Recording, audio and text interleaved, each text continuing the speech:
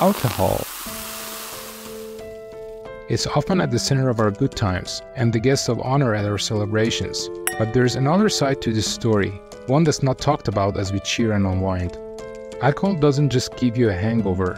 According to the International Agency for Research on Cancer, which is a part of WHO, it's also a group 1 carcinogen, sitting in the same category as tobacco and asbestos. It's linked to a lineup of cancers, including breast, colorectal, liver, esophageal, mouth, throat, and laryngeal. So while each drink might seem like just a part of fun, there's more going on beneath the surface. The risk of these cancers increases with the amount of alcohol consumed over time.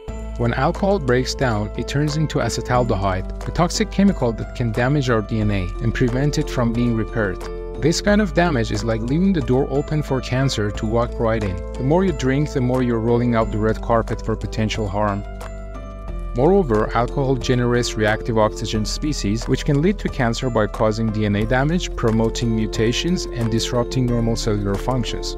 And here's the kicker. It even impairs the body's ability to break down and absorb a variety of nutrients that may be protective against cancer, such as antioxidants and B vitamins, particularly folic acid or B9.